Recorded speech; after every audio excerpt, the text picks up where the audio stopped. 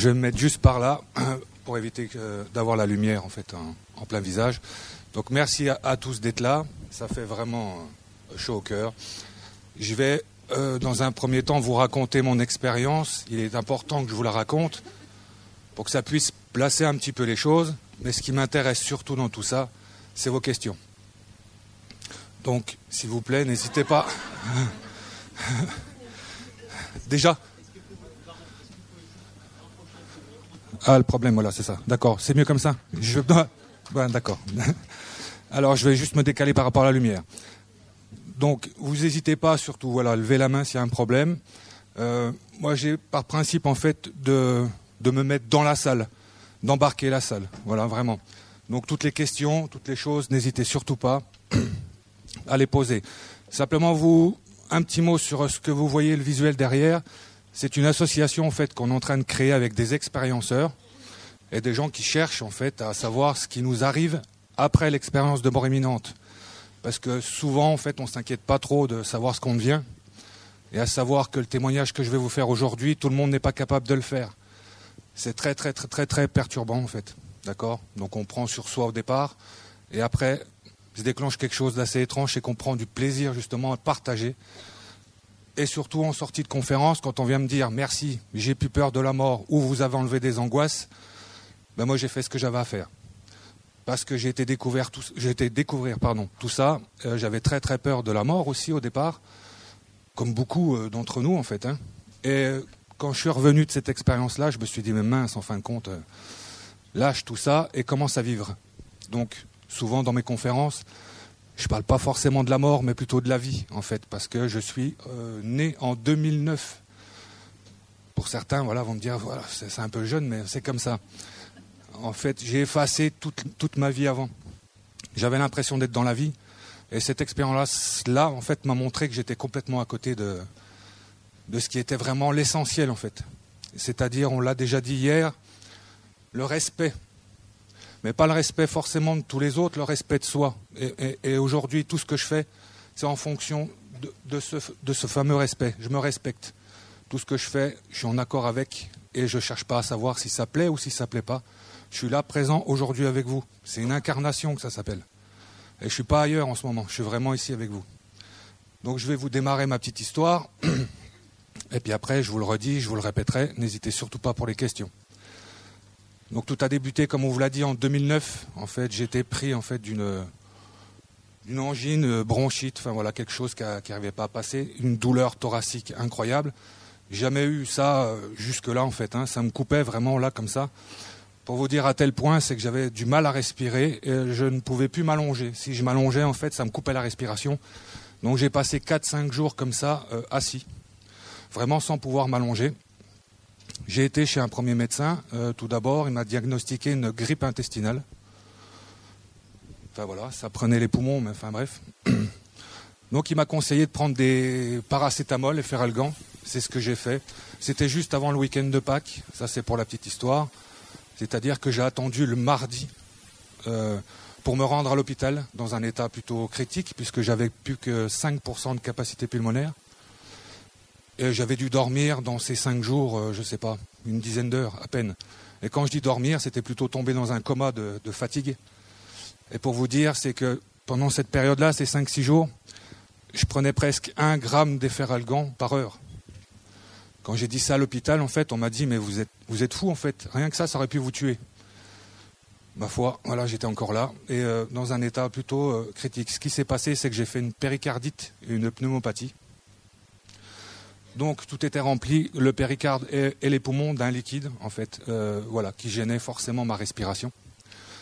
Donc quand je suis arrivé à l'hôpital par mes propres moyens, en fait, hein, c'est ma compagne de l'époque qui m'a un petit peu guidé, mais je, faisais de l'eau vraiment partout, je voyais plus rien. C'est elle qui me disait écarte-toi un petit peu de la, de la droite parce qu'on va aller dans le fossé ou euh, resserre-toi un petit peu. Enfin, c'était vraiment quelque chose d'assez incroyable. Quand j'y repense, ça me fait le froid dans le dos parce que j'ai emmené ma compagne de l'époque et mes deux enfants dans cette voiture et c'est moi qui étais au volant. Et à n'importe quel moment, en fait, j'aurais pu euh, perdre connaissance ou quoi que ce soit. Enfin bref, c'est des choses qui sont assez particulières et c'est ce que j'aime dire aussi. Et ça, j'ai fait la réflexion juste après. C'est que quand la mort, elle arrive, on la sent arriver. Je peux mettre des mots aujourd'hui parce que ça fait dix ans. Et, j'ai réfléchi à tout ça.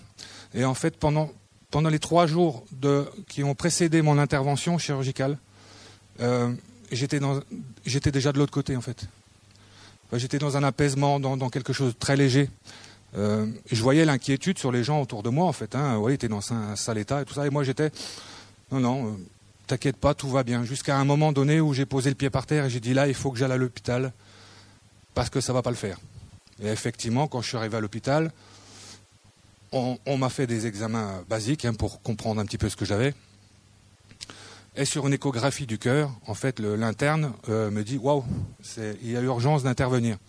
C'est-à-dire qu'il me montre une grosse masse noire en fait sur le sur l'écran et me dit là, voyez, c'est votre cœur péricarde. Bon, D'accord Moi, je suis pas spécialement spécialiste des images médicales.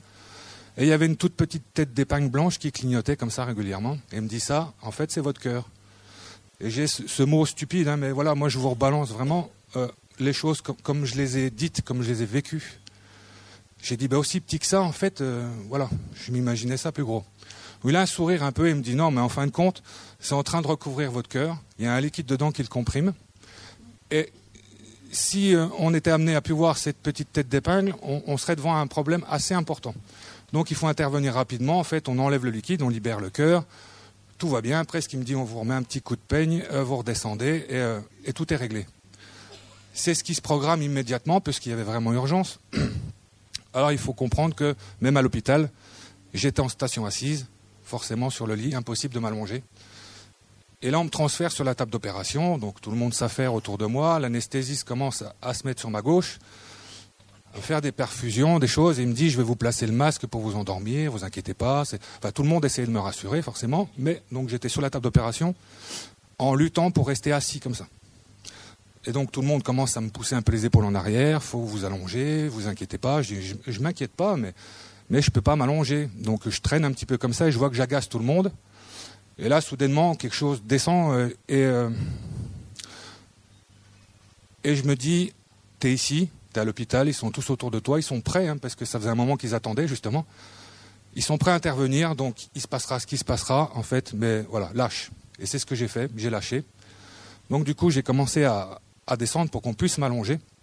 Et j'ai pas eu le souvenir de poser la tête sur, le, sur la table d'opération.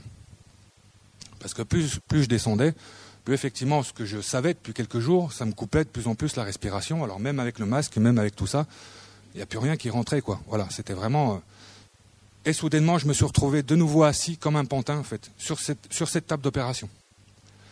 Euh, voilà, comme si je m'étais redressé, en fait, euh, à une rapidité incroyable. Et sans douleur, sans rien. Ça faisait 6-7 jours que j'avais des douleurs incroyables, même avec les médicaments, même les, les calmants de l'hôpital ne faisaient rien en fait. J'étais vraiment déjà dans cette douleur, euh, voilà, lancinante et, euh, et, terrible. Et là, soudainement, je me retrouve assis et libéré de tout ça, comme si, voilà, je prenais une grande respiration et je dis ah, ça y est, c'est fini. Et j'ai même ce truc de me dire bouge plus, reste comme ça, en fait, t'es bien. Voilà, profite de ça, parce que là, euh, ça fait un moment que tu attends ça, et donc je, je profite. Et ce qu'on disait aussi en conférence hier, on ne sait pas trop profiter de ces moments d'extase, mais c'était vraiment ça une douleur incroyable et paf, ça s'envole. Et là, je prends quelques respirations. Enfin, ça, c'est pour vous ramener des mots, parce qu'une expérience comme ça est très difficile aussi à, verbaliser. Donc, du coup, on essaye d'avoir des images le plus proches possible. Mais quand je dis prendre une respiration, à ce moment-là, j'avais déjà plus de poumons, ils étaient encore allongés sur la table, et j'étais déjà autre chose. Mais euh, dans la conscience, le temps que ça arrive, voilà. Donc, j'ai conscience que je suis assis sur cette table d'opération redressé, sans douleur, sans rien, mais je profite vraiment de ça. Et soudainement, je m'aperçois de quoi? En fait, que tout, tout, est blanc autour de moi. Je ne vois plus les, plafonds, les murs, même cette table d'opération. Les gens qui étaient autour de moi, je ne les vois plus, je ne les entends plus. Euh, mais j'ai toujours cette conscience d'être là, dans l'hôpital, avec les gens autour de moi et sur cette table. Et là, qu'est-ce que je me dis? Je fais même ça comme ça, devant moi je, sens que j'ai des bras, que, j'existe, mais je ne me vois pas. Et je sens le, courant d'air. Vous voyez, si vous faites ça, il y a un courant d'air qui file entre vos doigts. Et eh ben, c'est ça qui me matérialisait en fait. Le fait de bouger, j'arrivais à me matérialiser, mais j'arrivais pas à me voir. Et là, je me dis, ouf, tout est blanc, t'as plus de douleur, t'es bien, euh, t'es mort. Voilà, c'est comme ça que c'est tombé. Hein. Et, sans, sans peur, sans rien. Je, suis un garçon qui est assez. Euh, il y a quelque chose qui se présente à moi, hop, je mets les deux pieds dedans, puis je vois un peu ce qui se passe. Donc je, n'hésite absolument pas à faire les choses. Ça, c'était avant. Aujourd'hui, je vous dis, c'est encore pire, hein, parce que c'est vraiment, je me dis, s'il y a quelque chose qui se présente à moi, c'est pour moi. Donc je croque ça euh, à 100 à l'heure. Mais donc j'ai voilà, cette conscience-là. Je suis mort. J'avais pas forcément de culture par rapport à ça. Souvent, les gens disent oui, je m'intéressais au tunnel. Donc j'ai pas de tunnel. Moi, c'est tout de suite l'environnement blanc. Et ah, immédiatement après ça, en fait, je sens ce que je suis devenu. On appelle ça un corps, mais euh, euh, voilà, il, faut savoir que je, ne savais pas le, dissocier de ce blanc-là, mais je sentais au fond de moi que j'étais quand même présent dans cette blancheur qui, m'envahissait. Hein. Vous avez entendu parler de l'amour euh, inconditionnel, tout ça, on va passer là-dessus, parce que euh, voilà, c'est vraiment euh, voilà, cette chose-là qui, est, quand même incroyable. Et je sens que je suis devenu, en fait, faire des, des mouvements comme ça, donc circulaires, horizontales, toujours au même niveau de la table. Vraiment, même quand je sens que je suis plus au-dessus de la table, et ça tourne de plus en plus vite et ça va de plus en plus large. Et là, comme si je le faisais là maintenant, vous vous rendez compte que au bout d'un moment, je vais, euh, être face à un mur. Voilà, euh, mon mouvement va remplir la salle, et puis après, je vais venir frotter sur les murs. Donc tout était blanc jusqu'à un moment où je suis venu frotter effectivement un mur. Et là, il s'est matérialisé comme je le vois là, aujourd'hui, comme je vous vois vous. Le problème, c'est que le tour suivant, en fait, je suis passé à travers. Alors, vous voyez, déjà, ça, ça c'est quelque chose qui est très difficile à raconter en public déjà même dans la famille au départ. C'est-à-dire que qu'est-ce qui t'est arrivé? Je suis passé à travers un mur et j'ai vu ce qu'il y, avait derrière. Je vous laisse imaginer de devoir le raconter ce soir euh, en rentrant chez vous. Euh, c'est pas simple. Mais je me suis dit, il ne faut pas que je garde ça pour moi. Et, forcément, euh, je suis pas le seul. Et je me suis rendu compte effectivement que je suis pas le seul à vivre ça. Et donc, c'est pour ça qu'on travaille un petit peu là-dessus. Et Je passe à travers ce mur et qu'est-ce que je vois derrière Une cuisine, une salle de repos, avec des, restes de repas, euh, de traiteurs, poulet Gaston Gérard, pour vous dire. Hein. Et, dix ans après, hein, euh, par contre, les médecins s'en rappellent plus trop, mais ils sont quand même presque d'accord pour dire qu'effectivement, il y avait des, euh, un bon repas en fait sur cette table-là à ce moment-là. Il y avait du vin de qualité, du champagne, et j'ai, alors c'est curieux parce que souvent on dit, ben, j'ai conscience que je suis mort et donc euh, avec cette peur qu'on peut tout savoir chacun, on va dire, on va s'accrocher à plein de choses. Non, moi c'est ce que je dis en fait avec euh, un petit peu d'humour, c'est que ça faisait 5-6 jours que j'avais pas mangé grand chose et du coup le fait de me sentir bien, je pense que j'ai été chercher une cuisine. Enfin voilà, c'est un peu l'explication que je peux en donner parce que pourquoi avoir été dans cette cuisine? Et la réflexion que je me fais, c'est je me dis, euh, moi je travaille aussi, je fais des vacations de 12 heures, euh, enfin je travaillais dans la sécurité. Et on est amené à manger aussi sur place, sur notre lieu de travail. Et là, je passe là comme ça et je dis, wow, ben, eux, ils sont quand même pas le, même niveau parce que si on avait du vin comme ça, du champagne à chaque fois qu'on travaillait, ils savent se mettre bien. Voilà. Mais j'étais dans cette ambiance-là en fait. Voilà, vraiment, euh, mais presque festive. Voilà. Il n'y avait pas de peur ni, de crainte.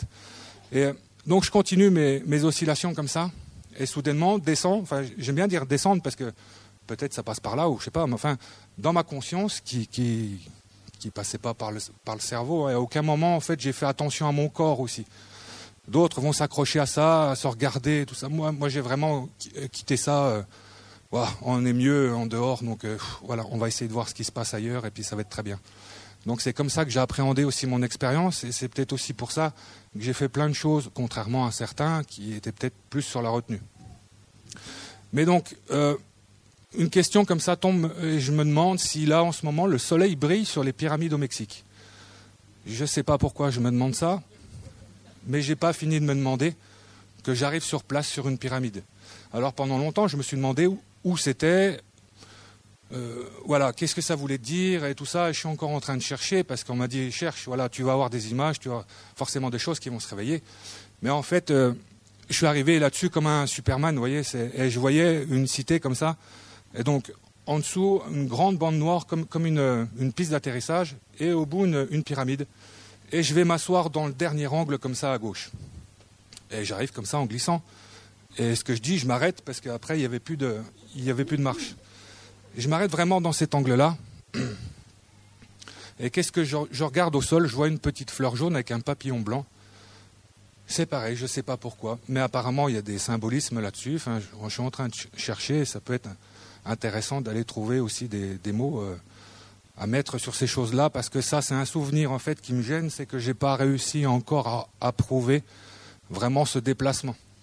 Mais tous les autres que je vais vous raconter ont été euh, vérifiés et éprouvés. Donc c'est pour ça que ça me gêne, mais j'aime bien le raconter quand même, parce que du coup, ça fait aussi partie de mon expérience. Et cette petite fleur jaune et ce papillon. Et quand j'arrive, j'ai le sentiment de déplacer de l'air ou de le gêner. En fait, il s'envole. Je le suis comme ça, alors du regard sans les yeux, imaginez. Et euh, ça me permet en fait de faire un tour comme ça. Alors je dis à 380 degrés. Et un ami qui est expérienceur, il me dit c'est 360 degrés, c'est pas 380. Et il y en a un troisième qui dit ouais mais nous on fait un tour encore un peu plus grand. Enfin voilà, c'est comme si on allait un peu plus loin dans, le, dans le système. Et je regarde comme ça, je suis le papillon, et là un peu comme la lumière, en fait je l'ai en, en, plein visage. Et ça, ça en fait ça répond à ma question. Le soleil brille sur la pyramide en ce moment. Et ça me renvoie dans cette lumière-là immédiatement. J'avais plus rien à faire là-bas en fait. Je m'étais posé une question et j'avais eu ma réponse. Le souci, c'est que, enfin le souci, c'en est pas un, vous allez voir. Je retourne dans cet environnement blanc là, dans lequel je vous ai dit au départ, j'étais seul. Enfin, j'avais conscience que des choses m'entouraient, mais dans cette lumière-là, j'étais seul. Et là, j'arrive dans cette lumière. Qu'est-ce qui m'attend? Mon grand-père paternel, qui est décédé en, 1984. Il m'arrête comme ça, une main sur l'épaule. Alors moi, déjà tout content de le revoir. Ça fait un peu, euh, voilà, euh, on organise un repas tous les six mois de famille et on se revoit les uns les autres. Voilà, c'était un peu comme ça. Et très content, j'étais complètement euphorique parce que je revenais du Mexique quand même. Et, euh, je disais, le soleil brille et, c'est génial, j'ai pas de douleur, enfin voilà, tout ça. Et là, il m'arrête, il me fait, euh, oh, je vois que tu t'amuses bien là-dedans, c'est pas le problème, mais c'est pas le moment. Et il faut que tu retournes. Et là, tout de suite, je lui dis, tu retournes rien du tout, en fait. Euh, moi, quand il me parle de ça, ça me rappelle, ça me rappelle effectivement les douleurs, les choses, mais ça passe vraiment très rapidement. J'ai dit, il est hors de question que non, moi, je reste ici. euh, je retourne pas de l'autre côté. Et, donc, il insiste là-dessus. Et qu'est-ce qui se passe, en fait, dans cette lumière blanche? Il va se matérialiser autre chose. J'appelle ça comme un conseil. Alors, euh, en parlant, tout ça, ça fait un peu jugement dernier. Mais bon, vous allez voir que celui-là est différent. Euh, c'est-à-dire que c'est une grande attablée comme ça. Moi, j'étais placé donc de ce côté de la table, mon grand-père sur la gauche. Et en tant que guide, pas supérieur, pas quoi que ce soit, en fait, euh, ce qu'il faut comprendre de l'autre côté, on est accueilli, euh, ça c'est ma compréhension, hein, par des gens comme ça, notre famille, et ils sont là pourquoi? En fait, pour nous apaiser et, pour nous guider, mais guider dans le sens, voilà, t'inquiète pas, voilà, j'ai déjà moi euh, découvrir ce qui se passe et donc euh, euh, vas-y sans crainte en fait. Voilà, je suis là vraiment pour. Ce qui est important, c'est d'aller aussi dans, cette expérience de mort. Et là, je parle de celle définitive, dans un apaisement total en fait. Il faut vraiment prendre ça comme quelque chose qui bah, qui est presque nécessaire. Enfin, c'est comme ça moi que je le comprends aujourd'hui et j'ai donc une vision, vous l'imaginerez, assez différente du deuil aujourd'hui certaines cultures prennent ça pour une, joie, une fête. Je suis presque d'accord avec eux. Voilà. Parce que la souffrance, en fait, quand les gens parlent de paradis et d'enfer, euh, l'enfer, je crois que j'y suis depuis 47 euh, ans, et euh, le paradis, j'y étais un petit peu. Voilà, c'est comme ça que moi je ramène ça. Et c'est un petit peu, comment dire, une, une délivrance. Voilà, c'est vraiment, ça que je comprends. Et donc, du coup, en face sur cette table, qui je retrouve, alors là c'est décuplé, hein, parce que le grand-père j'étais content, mais je revois une grand-mère, une tante, enfin voilà, tous des gens de ma famille, donc de sang, et, des gens avec qui j'ai eu des contacts aussi très liés avec le cœur. Enfin voilà, ça peut être un voisin, ça peut être, euh, ça peut être toutes des choses comme ça en fait. c'est des gens avec qui j'ai vécu des choses qui, ont été euh, fortes et, euh, dans l'émotion en fait. Et on se retrouve tous comme ça, voilà, super. Par contre moi, on, me pose un livre. C'est comme ça que je ramène ça devant le nez et on me dit voilà, tu vas regarder ça et puis euh, après on te reposera des questions. Dans le sens, il faut que tu partes et euh, voilà. Alors je tourne les pages. Ah oui, ça me concernait effectivement. Donc de ma naissance, 1972, à ces fameux 2009. Et chaque page, en fait, chaque page, qu'est-ce que j'ai pu y voir? Parce que c'est pas lire, mais ça, ça, se matérialise comme ça, en tout cas de ce que je ramène. Chaque millième de seconde de votre vie, toutes les décisions que vous avez pu prendre, elles sont notées là sur une page. Euh, ce que je dis souvent, c'est voilà, je vais tourner donc ma naissance, tout ça. Il y a des choses qui sont pas euh, forcément euh, marquantes, et donc voilà, on, va tourner rapidement là-dessus. La première dent que j'ai pu perdre enfant, la peur que j'ai eue de perdre cette dent, enfin voilà, toutes ces choses-là en fait apparaissent comme ça. Et là, soudain, ça s'arrête en fait sur. J'ai l'âge de 17 ans. Alors, ce que j'explique, je suis dans un quartier populaire, pas très.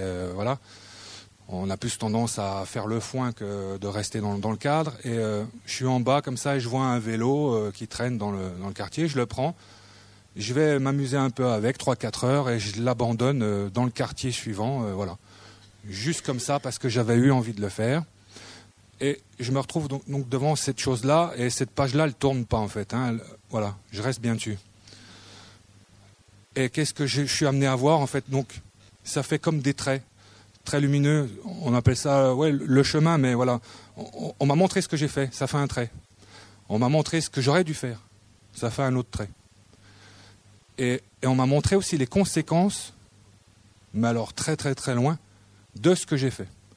C'est-à-dire que, alors c'est pareil, c'est du, enfin du roman, mais c'est juste pour vous expliquer un petit peu le cheminement de tout ça. Et après, vous pouvez transposer sur tout ce que vous êtes amené à faire ou pas faire. C'est-à-dire que ce vélo-là appartenait à une femme qui vivait seule avec des enfants, qui était en difficulté. Pourquoi elle est en vélo plus qu'en voiture? Ben, Je vous laisse imaginer, manque d'argent probablement, enfin dans un quartier pas simple. C'était quelqu'un avec les enfants qui était habituellement euh, en retard au travail. Le fait que ce jour-là, je lui vole son vélo, elle se retrouve au chômage. Et en fait, on me montre cette femme en fait souffrir, c'est-à-dire la souffrance qu'elle a eue par rapport à ce vol de vélo, par rapport à ce chômage, par rapport à ces difficultés qui vont arriver derrière. Toutes ces souffrances-là, je les vois, elles sont marquées sur la feuille. Et le truc le plus terrible, c'est que ce n'est pas les siennes, je ne suis pas en train de les observer, ça devient les miennes. Et là, je souffre en fait pour elle, à sa place. Euh, c'est ce que je dis. Euh, je comprends maintenant quand, quand, on dit si, tu, si je te marche sur le pied, c'est à moi que je fais mal. C'est un peu comme ça que je comprends la vie aujourd'hui maintenant. Et c'est en ça aussi qu'on change un petit peu tous euh, quand on a fait cette expérience-là. Euh, pas pour essayer d'expier ou de parce que souvent les gens me disent oui mais alors aujourd'hui vous essayez de rattraper un petit peu tout. Non. Non j'assume tout ce que j'ai été avant. Mais maintenant aujourd'hui j'avance avec quelque chose de nouveau dans la tête et j'essaye de faire euh, voilà du mieux possible. Et du mieux possible parce que c'est toujours pareil.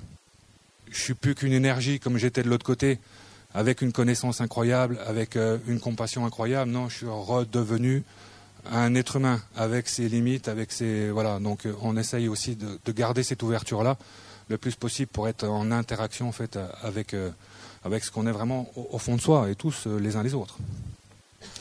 Et je vois toutes ces souffrances là et, et soudain je me dis mais t'es pas descendu sur terre pour faire ça, pour voler un vélo, pour emmerder cette, euh, dame-là qui avait déjà euh, assez, elle n'avait pas besoin de toi pour euh, rajouter encore quelque chose. Donc j'ai un sentiment de, malaise. Et en fait, ce qui se passe, c'est ce qu'on peut appeler le jugement. Là, je suis en train de me juger. Et, les gens comparent ça au jugement dernier. C'est pour ça que je vous parle de ça. C'est qu'ils ont l'impression que les gens qui étaient en face de moi, donc toute cette famille, tout ça, allaient être d'accord avec ça, en disant bah oui, t'as vu ce que t'as fait, c'est pas bien. Et euh, c'était pas ça qu'il fallait faire, et c'est pas si. Et ben au contraire. En fait, tous les gens qui étaient autour de moi, même mon grand-père, m'ont dit Mais t'es pas bien. Si, c'est bien ce que tu as fait. C'est ce que tu as voulu faire. Et fallu, il a fallu que je dise Non, non, il fallait faire autrement. Et voyez un peu la différence entre se juger soi-même et être jugé par les autres. Et, et, ça, ça peut, euh, ça peut être important parce que moi, c'est le, choc que j'ai reçu le plus violent, c'est celui-là. C'est e-, être contraint de me juger moi. Parce que si vous me jugez, vous avez un avis sur moi, ok, je vais le prendre. Et puis euh, je peux très bien facilement dire, bon ben, ils pensent ça parce qu'ils ont mal mangé à midi ou ils n'ont pas trouvé de place pour se garer. Et c'est pas complètement euh, à moi qui parle, mais voilà. Alors que si c'est moi qui dis, euh, tu as été un imbécile, je le sais. et là, je le, je le prends en pleine poire. Et qu'est-ce qu'il a fallu faire suite à ça? Eh bien, assumer ça. Vraiment. Je me suis dit, OK, Tu as été mauvais là-dessus, alors assume. Essaye pas de t'excuser ou quoi que ce soit, assume le fait d'avoir été quelqu'un de pas forcément bon. Et la prochaine fois, quand tu vois un vélo, tu le touches pas. Parce que tu ne dois pas le toucher et tu sais que voilà, donc c'est aussi un petit peu l'expérience. Et on est tous là, plus ou moins, aussi à venir euh, vivre ces expériences-là. Alors maintenant, ça peut être euh, euh, moche ou, ou, agréable, peu importe. Mais on a besoin de ça. C'est ce que je dis souvent. À un enfant, vous allez lui dire, touche pas le four, c'est chaud, tu vas te brûler 50 fois, 100 fois, 200 fois. Il va toucher le four, il va se brûler, donc il va faire l'expérience. On va, trouver toutes les excuses. on te l'a déjà dit, t'aurais pas dû, voilà. Mais jusqu'après, un, il touchera plus le four. Et deux, c'est lui qui vous dira attention, c'est chaud et ça brûle. Donc c'est important de comprendre ça aussi. Il ne faut, pas non plus toujours se dire mince, j'ai pas fait, j'ai, euh, alors j'ai pas fait parce que j'avais pas envie de faire. Ce qui est important, c'est de réfléchir là-dessus et dire bon ok, et maintenant si ça se représente, ben comme ça m'a perturbé, je vais essayer de faire autrement. Voilà. Et, je dis bien essayer parce que du coup, euh, ça marche peut-être pas à chaque fois comme ça. Donc pour vous finir cette histoire de livre, hop, je tournais pas, je, m'aperçois que j'ai une fille. Et à ce moment-là, j'avais complètement occulté tout ça. Ah, et je vois, euh, alors j'étais quelqu'un beaucoup dans le travail, dans la société, il fallait de l'argent, j'avais l'impression qu'on existait par rapport à ça. Et là, pareil, encore une claque. Tu as un enfant et, il est là que pour ça? Non, il n'est pas là pour ça. Alors, soudainement, je me dis, hum, tiens, il est en train de me dire qu'il faut que je retourne. Ben, je peux peut-être faire différent. Bon, je continue à tourner, je m'aperçois que j'ai un fils. enfin, voilà. Tout ce, cinéma de ma vie, en fait, jusqu'en 2009, qui ont fait que de ma décision de vouloir rester sur place, elle a changé et je me suis dit, il est en train de me dire que ce n'est pas le moment et faut repartir, alors ok. Et, simplement, j'insiste là-dessus aussi, parce que souvent les gens me disent, oui, mais moi je suis dans le deuil, mon mari est parti, vous êtes en train de me dire que ben, il n'a pas voulu revenir si on reste sur cette explication-là, c'est vrai que je vous ai dit, voilà, je voulais pas revenir, euh, je bricole encore avec les euh, de l'autre côté, et là, soudainement, je, veux revenir parce que je vois mes enfants, je veux gérer ça autrement, donc je décide de revenir. Euh, non, la décision de revenir, en fait, en tout cas pour mon cas, on n'est pas acteur là-dessus. D'ailleurs, on, revient comme on est parti aussi rapidement, sauf que le bien-être se transforme en, mal-être. C'est pour ça que j'explique que l'enfer, c'est peut-être bien ici. Parce que quand on revient dans son corps, en fait, on a l'impression d'être dépecé. et, encore, euh, j'ai jamais été dépecé. Mais euh, je pense que la douleur doit être encore euh, légèrement plus haute. Donc le retour aussi dans le corps est très désagréable. Aussi désagréable que ce qu'il est agréable quand on sort. Et donc, bon, je suis amené à voir ça. Et, soudainement, ben, comme les pyramides, j'ai envie de voir mes enfants. Et là, ben, je n'ai pas terminé de de penser ça que je me retrouve euh, à la maison. Donc j'arrive euh, un soir, on a une petite maison, un petit jardin devant, et on avait planté, euh, juste avant que je parte faire le guignol à l'hôpital, des, petits pieds de tomates comme ça. Ils n'étaient pas plus hauts que ça. Et ce qui s'est passé en fait dans ma vision, c'est-à-dire qu'il y avait le blanc je décide de partir à la maison, comme je vous expliquais, après ça se matérialise. Donc pour les pyramides, ça s'est matérialisé comme je vous vois là. Moi, devant la maison, ça s'est matérialisé encore différemment, c'est que j'ai vu toutes les molécules. Enfin, ça faisait tous des petits points comme ça qui se qui s'entrelaçaient, qui tournaient entre eux. Mais j'arrivais à différencier la tige des feuilles, des fleurs. Et ce que j'ai fait, et tout, le, gravier, euh, la façade de la maison, tout était scintillant en fait, comme le. Je vais me comparer à ça, le, pointillisme. Vous savez, voilà, c'est tout des petits points. quand on recule, on va voir que c'est une fleur, c'est voilà. Donc ça faisait un petit peu ces choses-là. Et j'avais envie de voir mes enfants, mais je m'arrête quand même dans les pieds de tomates. Je passe en fait dans les pieds de tomates comme ça, et euh, les pieds de tomates, en fait, j'étais les pieds de tomates, et enfin voilà, c'était vraiment une, euh, comme ça, une, symbiose là. Et euh, je les ai vus grandir, je les ai vus donner de, beaux fruits, et, soudainement, en fait, je me dis, ok, t'inquiète pas pour les pieds de tomates, ça va aller. ils vont donner de bons fruits. Donc c'est juste pour vous dire aussi que bah, de l'autre côté, on, va focaliser notre intérêt sur des choses bah, qui sont peut-être pas forcément. Euh, je venais voir mes enfants, mais j'ai quand même euh, essayé de vérifier si les pieds de tomates allaient donner des tomates. Il y avait peut-être autre chose à faire, de plus urgent ou quoi, mais voilà, je passe comme ça. Et du coup, je rentre à la maison. Et là, par contre, ça se matérialise comme, euh, là, je vous vois. À tabler, il y avait mon ex-compagne, téléphone sur la table, et les deux enfants, donc dans un état d'angoisse, de, stress. Ils étaient petits, mais quand je suis arrivé, et ça je l'ai su après, il y a eu un orage et une coupure de courant électrique, et donc ils se sont retrouvés dans le noir. Il y a des enfants, le noir, l'orage, enfin bon, ça, ça aide pas à se détendre. Et en fait, tout le monde était très très stressé. Mon ex-compagne recevait un coup de fil à peu près toutes les demi-heures en lui disant bah, il est encore vivant. Voilà, à tout à l'heure. Il est encore vivant. À tout à l'heure. Bah, ça s'est vraiment passé comme ça. Et, euh, et, donc, euh, moi, j'arrive, je me place debout dans la cuisine comme ça, donc je vois tout le monde inquiet. Et, comme cette dame avec le vélo, c'est-à-dire que la peur de mon fils, l'angoisse de ma fille et le stress de mon ex-compagne, c'était les miens. Et je suis submergé de tout ça, en fait. C'est vraiment. Euh, incroyable. C'est le bien-être, et puis là, soudainement, on rentre dans un environnement assez, assez glauque, on va dire. Et qu'est-ce que je fais? Je dis, mais vous inquiétez pas, en fait, euh, il y a des bougies et des allumettes sur le côté là de la cuisine. Allumez-les et le, courant euh, reviendra rapidement, quoi. Et là, personne m'écoute, personne m'entend, personne fait attention à moi. Et donc j'ai cette espèce de, de sentiment là de, mal-être en fait parce que je dis bon bah je parle personne m'écoute et, ça me renvoie dans dans cette fameuse j'appelle ça un sas cette, fameuse lumière là dans laquelle je me, je me sens bien et euh, et je me retrouve de nouveau à repartir. Et je repars où je me retrouve dans le, cabinet de mon médecin traitant.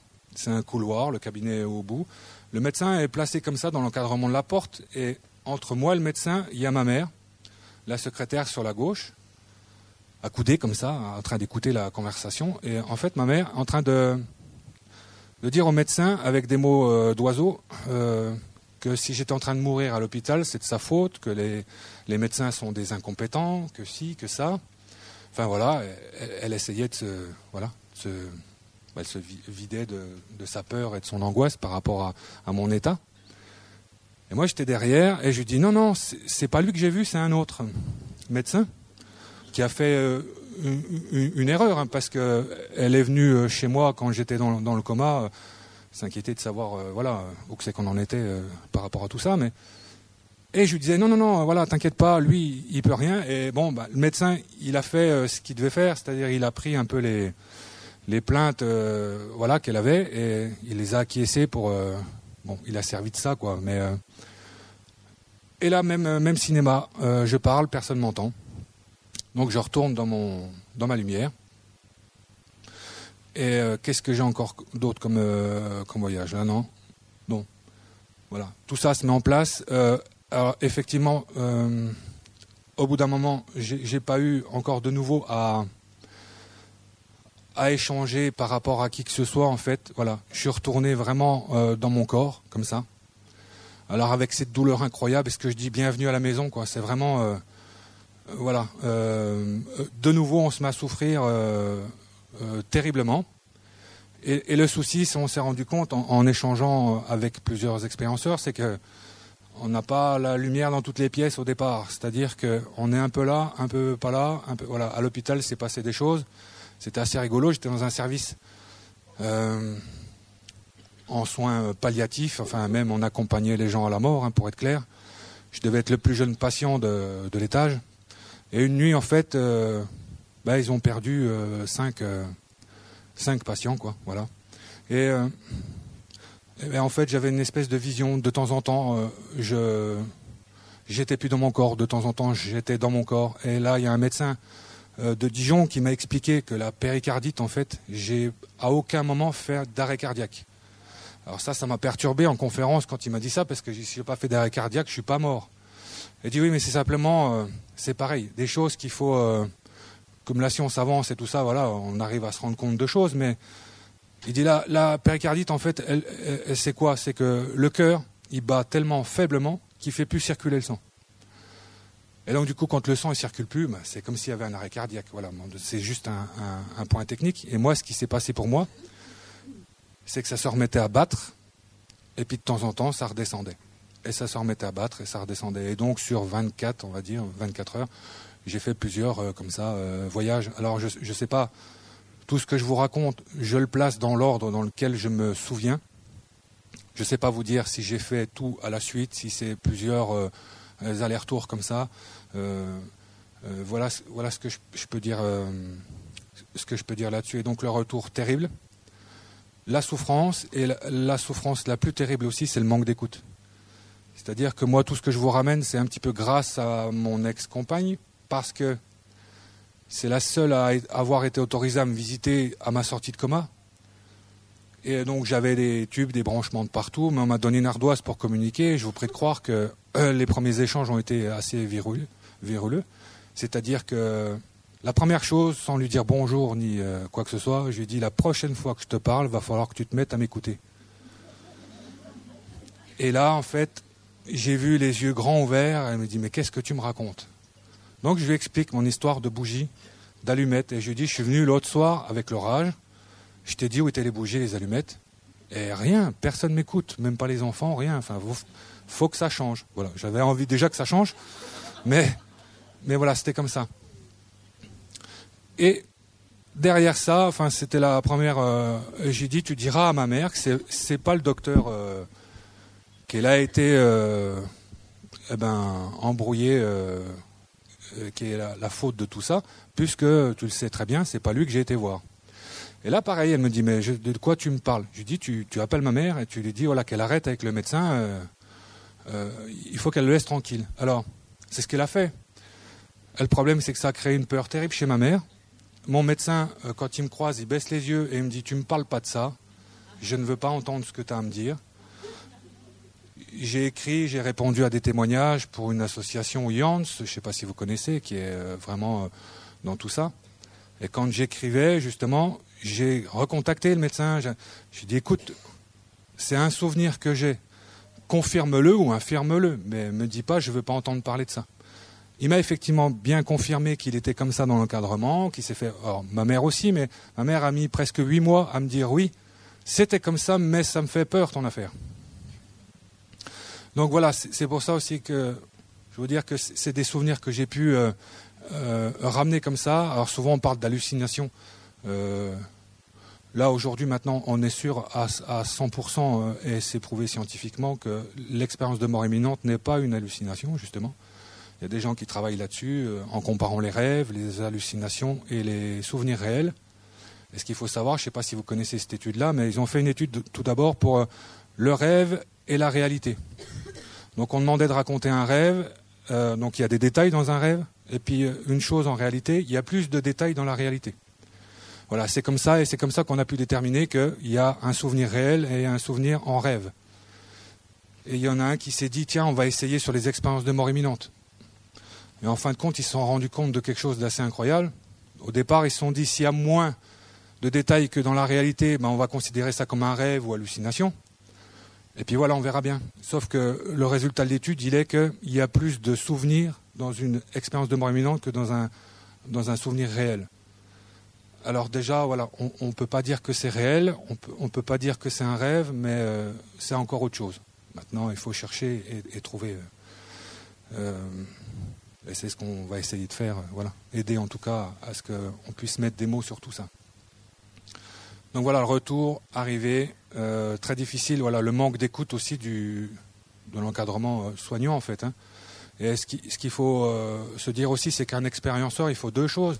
Il faut qu'il vive l'expérience et il faut qu'il s'en rappelle. Parce que du coup, on ramène des informations que le cerveau accepte pas. Hein, je vous le dis tout de suite. Hein. on remet en question forcément tout ce qu'on est, tout ce qu'on a pu être, et ça, c'est assez difficile. Donc voilà, quoi vous dire d'autre? Je vais peut-être plus vous laisser la place aux questions parce que je ne sais pas quelle heure il est. Ah, on n'a plus beaucoup de temps là. Donc du coup, voilà. Je vais vous laisser la, parole, on va dire. Comme ça, ça me permet de, de souffler un petit peu. Et puis, c'est vos questions qui m'intéressent. Donc euh, voilà. Qui a une question?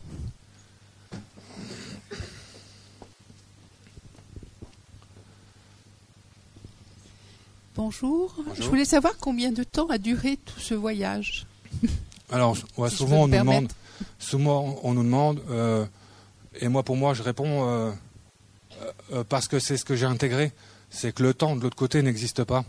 Et si je me mettais à, essayer de, mettre un temps sur tout ce que j'ai fait, voilà, ça, ça, peut être d'une longueur incroyable.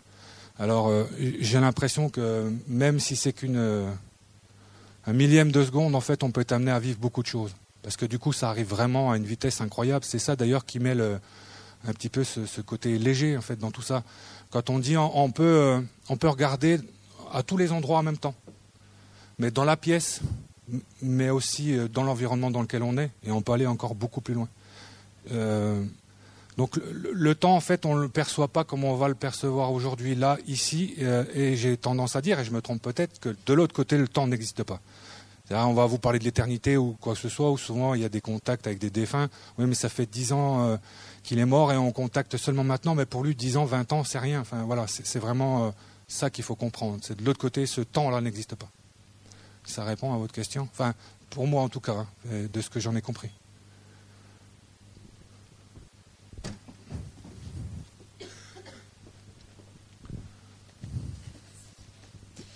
Bonjour.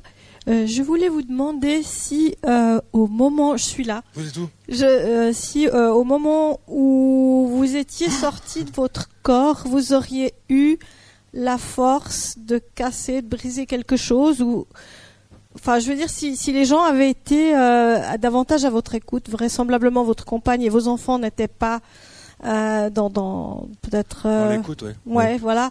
Mais est-ce que vous auriez pu vous manifester comme peut le faire euh, ce qu'on peut imaginer d'un esprit, par exemple? Toujours dans ma compréhension. Hein.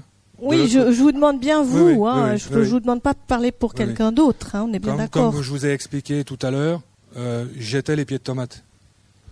Et je pense que j'aurais pu en faire ce que je voulais.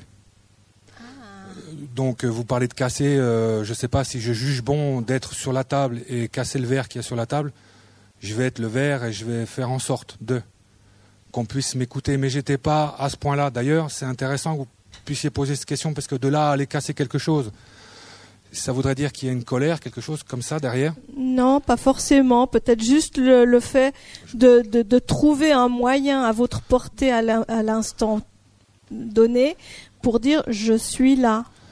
Voilà, c'est, quand je dis casser, c'est juste mais, mais pour, pour, montrer je suis là. Voilà. Tout est possible. Vous savez, quand on parle de signes, on, va monter dans la voiture, on va écouter une chanson qui va rappeler. Euh, voilà, parce que dans l'énergie, en fait, euh, on, c'est le quantique hein, qui explique ça. C'est que mon monde, c'est pas le vôtre.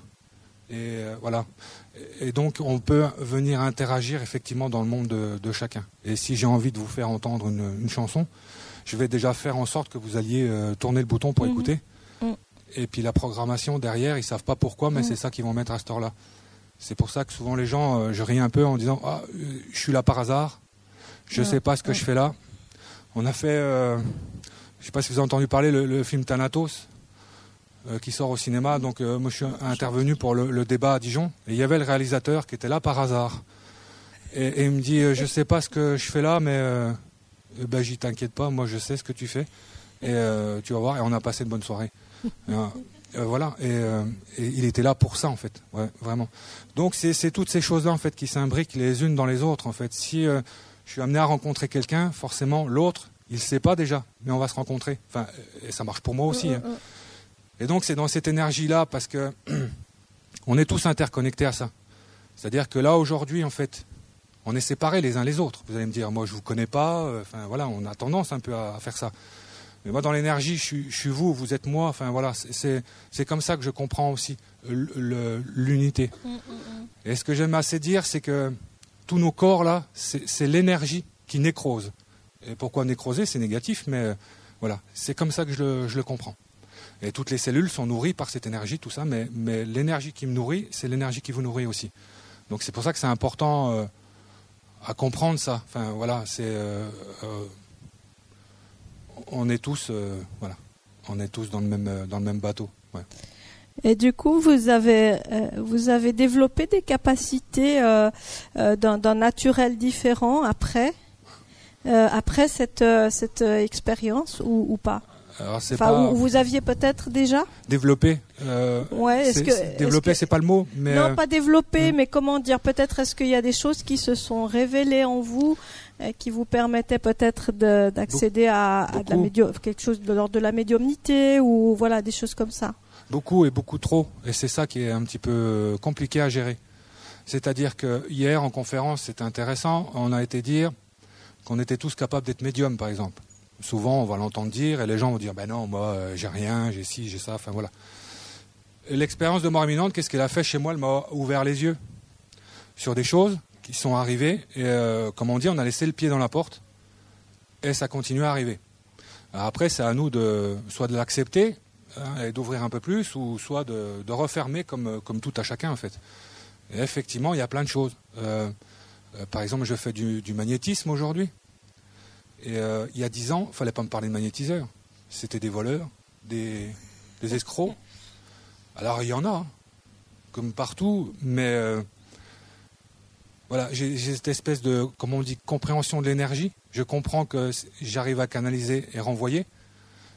Et en plus, chez l'autre, c'est reçu et, c'est efficace.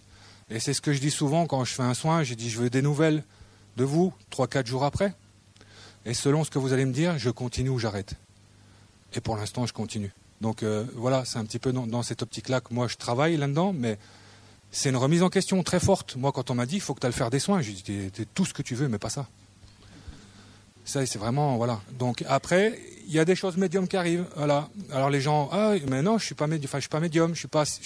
Il y a plein de choses en fait. Il y a une ouverture, euh, une compréhension. Et, c'est ce qui a été dit juste avant mon passage, quoi.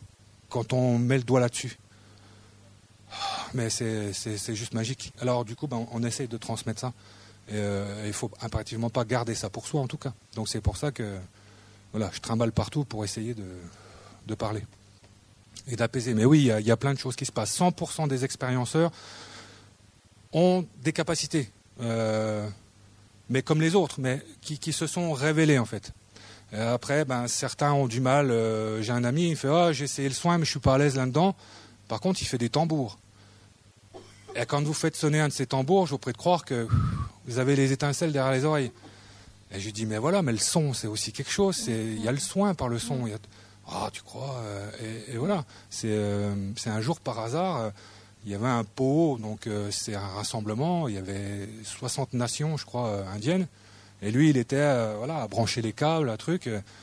Et un chef qui arrive, il dit le pot, donc c'est un gros tambour, ils sont une vingtaine dessus à taper. Et quand il commence la cérémonie, il ne faut pas l'arrêter. Et il dit il n'y a qu'un tambour, moi je ne fais pas la cérémonie, parce que s'il y a un problème avec le tambour, on va être obligé de l'arrêter en cours et ça va pas. Et lui, il sort de ses câbles, et il dit, ben moi je vais en faire un.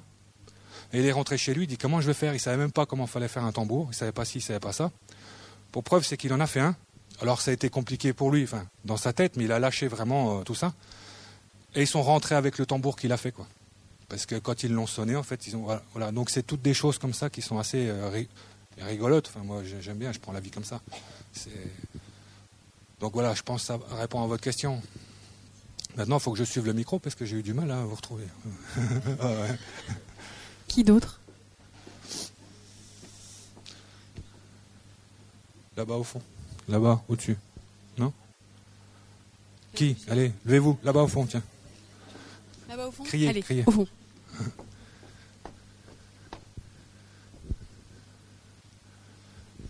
Merci.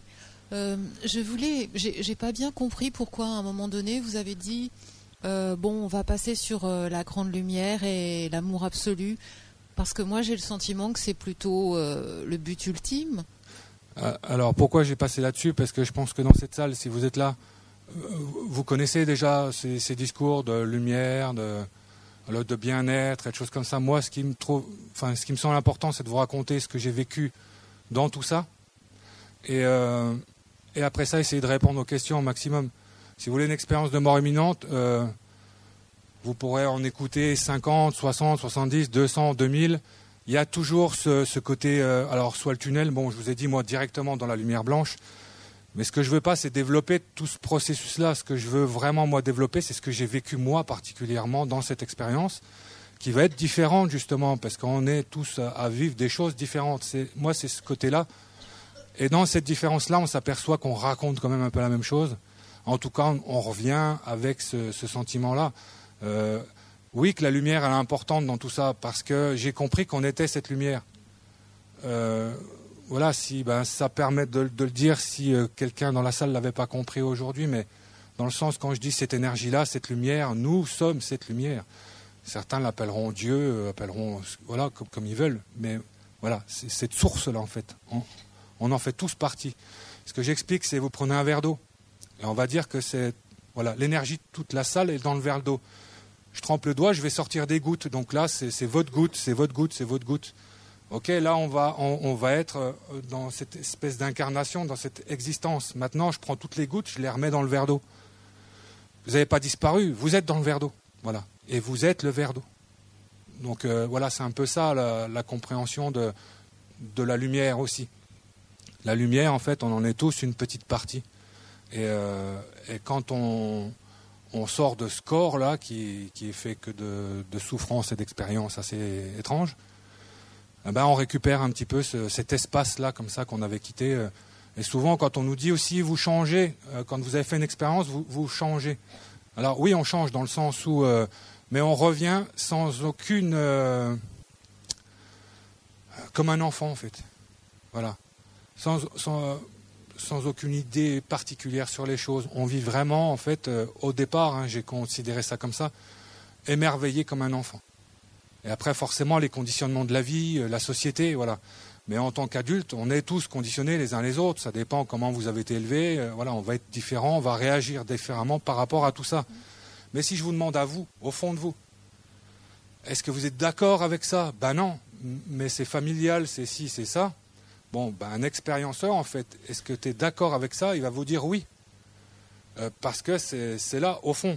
Oui, mais avant, tu étais différent. Ben oui, mais avant, j'étais à côté de la plaque. Mm. Maintenant, aujourd'hui, je vis comme ça.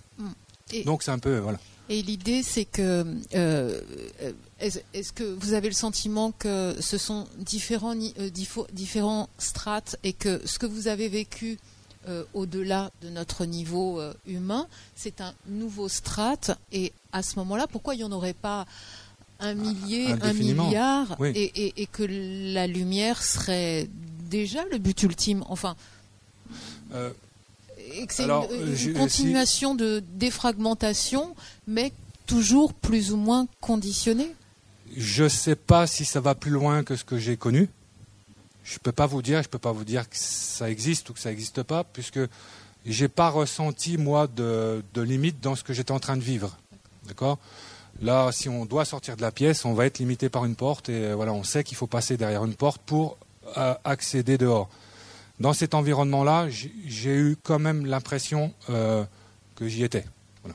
J'y étais. Alors, c'est une expansion probablement incroyable, hein, parce que je vous dis, j'ai pas été au bout. Mais c'est pas parce que j'ai pas été au bout qu'il n'y a pas de bout. Enfin voilà. Donc je sais pas s'il y a plusieurs échelons.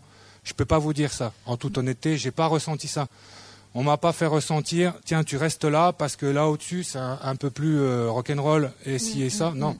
j'étais vraiment dans, dans un environnement. euh, voilà. Mais donc, vous n'avez pas ressenti que cette lumière et cet amour absolu étaient le but final, ultime? Ah, Et que c'était, que c'était même mieux que ce que vous aviez vécu avec les plants de tomates ou les. Euh, Mais dans, dans, la, dans la lumière, j'ai ri- j'ai rien vécu de comparable à, à- à aujourd'hui. Et euh, comme vous dites, le, le lien ultime ou peu, peu importe, euh, moi j'y serais resté. hein. Euh, je cherche pas à aller ailleurs. Euh, donc on est peut-être justement dans le oui, c'est- le, le but, mais c'est de se retrouver soi. ben, et quand on dit soi, ben, c'est lumière en fait. C'est ce qu'on a dans le cœur. Après, il y a tellement d'images qui viennent se greffer là-dessus. Mais oui, c'est la lumière que je suis. Euh, c'est là-dedans que j'ai envie de, ronronner, moi. C'est pas, c'est pas ailleurs, quoi. Donc oui, effectivement, c'est peut-être euh, ultime. oui. Mm. En fait, je voulais vous poser la question en ce qui concerne euh, le moment où on vous a montré les lignes et le, au moment où vous a- on vous a montré les lignes, euh, le fait que vous ayez euh, volé le vélo Oui, et en fait euh, vous a montré que ce que vous avez fait. euh, c'est pas bien. Ben, c'est pas on m'a montré. Enfin, c'est moi. hein, je me suis vous qui rendu avez compte tout fait seul. la déduction. Je me suis rendu compte tout seul que c'était pas bien. On m'a simplement montré. Enfin, ce livre, il vous montre tout ce que vous avez fait. Oui. Et il vous montre tout ce que vous auriez dû faire. Oui. Mais tout ce que vous auriez dû faire, si vous l'avez fait, c'est pour ça que je vous dis des fois ça passe. Parce que euh, si je fais tomber un papier par terre, par exemple, et que je me baisse pour le ramasser, et que je le mets à la poubelle, on va dire que globalement c'est ce qu'il faut faire. Oui. Donc en admettant su- sur ce souvenir-là, et je vous dis, c'est chaque millième de seconde de votre vie, sur ce souvenir-là, quand je suis de l'autre côté, euh, on passe. Hein. Enfin, Oui, mais euh, le fait d'être dans, dans cet endroit où normalement où on se sent bien, là en fait euh, quelque part c'est euh, porter un jugement. Mais il faut, euh, c'est nécessaire. Oui, Euh, mais ça, ça, ça, ça met, euh, enfin, euh, je sais pas si non, Ça met la quoi que ce soit, la personne euh, mal à l'aise. c'est c'est un peu le but en fait. C'est comme je vous disais, c'est il faut, euh, de ce que j'ai compris, il faut assumer ce qu'on est. À Oui, partir on- du moment que c'est que j'assume, tout va bien. Et effectivement, si vous arrivez, euh, je vous le souhaite pas, mais s'il y a des bouquins hauts comme ça du sol, Oui. là vous allez vous dire il y a de la lecture quoi. Euh, on va avoir des soucis. Puis il y en a, ils vont peut-être arriver, il y aura que deux feuillets et ça sera réglé quoi. Voilà. C'est un peu comme ça que je comprends. Moi, l'épaisseur de mes livres, elle a été ben, juste, juste parce que il y avait, y avait besoin de me montrer un petit peu tout ça. Mais tout ce que j'ai fait de bien, par contre, on ne s'est pas attardé là-dessus. Oui, oui, oui, mais en fait quelque part c'est porter un jugement. Mais c'est nécessaire parce que, comme on parlait de cette lumière-là, alors on repart sur le verre. On repart sur le verre, on est tous dans ce verre-là, d'accord? Donc, c'est de l'eau. En admettant, ah, il y a quelqu'un qui rentre là, et puis c'est du savon. Vous allez accepter en fait qu'on vienne mélanger du savon dans, notre eau là? Donc, moi, dans ma compréhension, c'est que le savon, en fait, il va falloir qu'il se nettoie un petit peu pour venir barboter avec les autres. Et c'est un peu ça. La lumière, en fait, va laisser entrer que ce qui est sain, j'aime pas ce mot-là, mais euh, propre en tout cas, euh, qui, euh, même s'il a été mauvais, en est conscient et l'accepte. Oui, Et- non, mais on fait tous des erreurs dans la vie. Ah ben, c'est, on est là pour ça. Effectivement, mais euh, quelque part, euh, On, on est là pour ça, c'est l'expérience de la vie, en fait. oui, c'est Et l'expérience de la vie, Et mais c'est on- votre lumière qui vient chercher ça. C'est ce que j'expliquais en fait. Tout est écrit pareil sur ces livres. Alors les gens aiment pas entendre ça. Non, moi ma vie je la maîtrise, je sais où je vais. Je... Non, rien du tout. Tout est écrit. Et c'est vous qui l'avez décidé avant de venir. Et ces histoires de lignes, effectivement. Alors là, aujourd'hui vous êtes une femme, ok. Mais si on pouvait avoir votre livre, dans votre livre, ça serait euh, c'est une femme, elle est mariée, elle a trois enfants. Ça c'est votre livre de vie que vous avez décidé. Et maintenant, on va regarder ce que vous êtes. Alors oui, je suis une femme, je suis pas marié et j'ai pas d'enfant. Et du coup, il y a eu quand même quelque chose qui, qui s'est passé que, voilà, euh, à chaque occasion que vous avez eu de vous marier, votre libre arbitre vous a dit, ben non, moi j'ai pas envie. Alors je me suis écarté de ce que je devais faire. Ou à l'inverse, hein, si euh, c'était dit que vous deviez vivre votre vie seul, sans enfant, et que vous avez cinq enfants et, et- et- et trois divorces. Eh ben, c'est là aussi qu'il faut réfléchir. Pourquoi j'ai divorcé trois fois? Ben, Peut-être parce que je ne dois pas me marier. Peut-être parce que si. Peut-être pas que ce- voilà. Ça, c'est toujours aussi ma compréhension de, de, de la vie. Mais on, on- on voit ça après défiler. Mais le problème, c'est que si vous, avant d'incarner, vous avez décidé d'être une femme, avoir trois enfants, à votre mort, ça serait bien que vous ayez eu au moins trois enfants. Je ne sais pas si c'est bien clair ce que je viens de dire, mais Alors, il est 2h30. vous avez trois enfants, c'est ça? Non. Il est 2h30. Vous auriez dû. On va devoir euh, s'arrêter là. En revanche, le débat va pouvoir être continué avec Frédéric Oui, dans le hall d'entrée.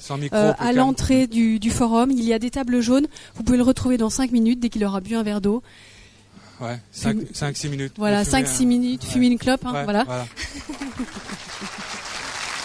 Merci.